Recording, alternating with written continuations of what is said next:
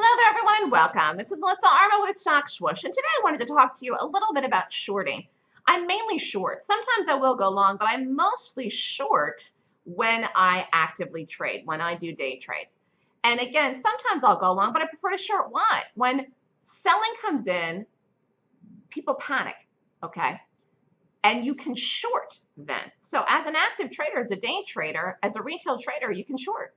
And again, we're in an environment right now, particularly with this economy, particularly with this high inflation, particularly with the fact now they're now discussing that maybe they will raise interest rates this year in 2024 or not lower rates at all this year in 2024 or even only lower rates once this year in 2024. We're in a time period where the market's very volatile and you absolutely have to know how to short. You really should know how to do both directions. Again, I, I go long if it's necessary. If I find something I like that's a that's a bullish gap.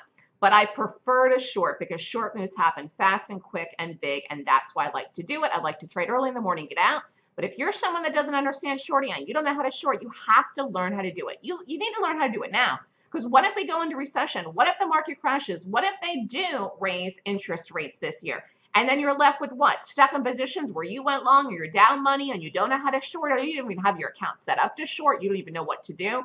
It is extremely important to understand both directions, but you really got to know how to short. And I found that in teaching people for as long as I have, for more than 10 years now that I've been teaching people my strategy on shorting, so few people know how to short, and most traders do not short, and you will have an edge if you short, know how to short, and know what to look for.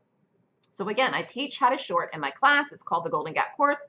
Email me at melissa at thestockswoosh.com for upcoming dates. Have a great day, everyone.